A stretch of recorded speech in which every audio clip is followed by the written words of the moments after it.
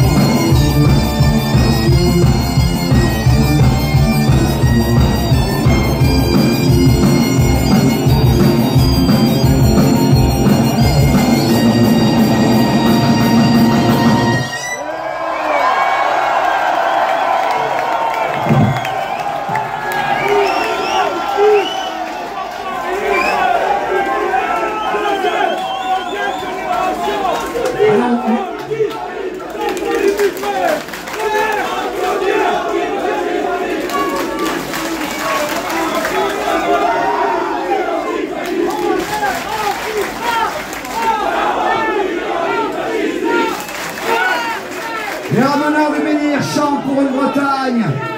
indépendante, équitable, libertaire, antifasciste